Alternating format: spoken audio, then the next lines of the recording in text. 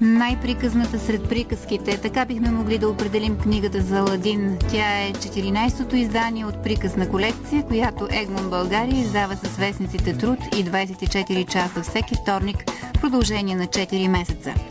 Приказката за Аладин е сред най-популярните от сборника Приказки от 1001 нощ, събрал голяма част от фолклора на изтока. Смята се, че тя не е оригинална арабска приказка, е сътворена от френски ориенталист Антуан Галан, преводач на сборника. Когато през 1704 година той издава първите два тома с приказки на френски язик, те постигат такъв успех, че през следващите 13 години излизат още 10 сборника. Смята се обаче, че някои от приказките, сред които тези за Ладин и Али Баба, са съчинени от самия Галан, тъй като те нямат писмени вариации на арабски, предхождащи ръкописите на французина. Дали е така, остава загадка.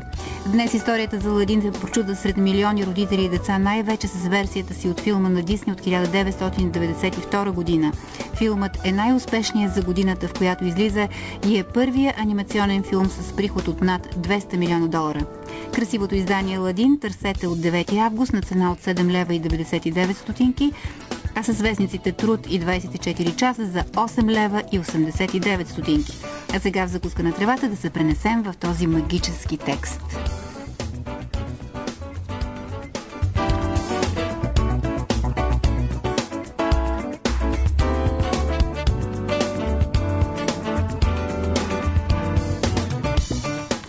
Докато се спускали в пещерата, ладини бу минали край купища блестящо злато и скъпоценности на едно място, те забелязали красиво килимче, което се подавало зад една камара жълтици. Виж, Абу, вълшебно килимче, казал развълнувано Аладин. Може би то знае къде е лампата. Килимчето ги повело през дълги тъмни тунели. Най-после влезе в огромна зала, в средата на която имало възвишение. На върха му се намирал ултар, където била поставена лампата.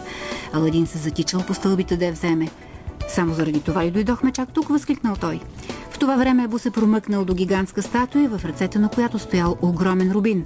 Вълшебното килимче се опитало да го спре, но Абу бил като магиосан от блестящия камък. Не се е сдържал и го грабнал. Неверници, вие докоснахте забраненото съкровище и никога повече няма да видите слънчевата светлина, прогърмял гласът на тигъра. Тогава статуята започнала да се топи, а алтарът рухнал.